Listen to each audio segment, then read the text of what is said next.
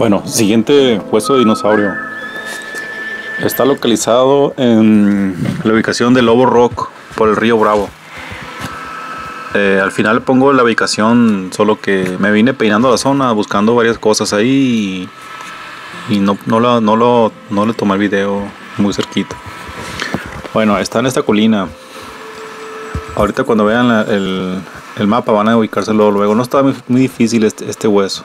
Eh, corresponde a una aleta, una aleta de pescado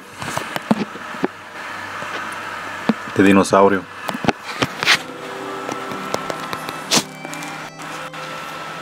Bueno, eh, muy bien, recogemos el de este, la ubicación, dice hueso del lobo, del lobo rock, río Bravo.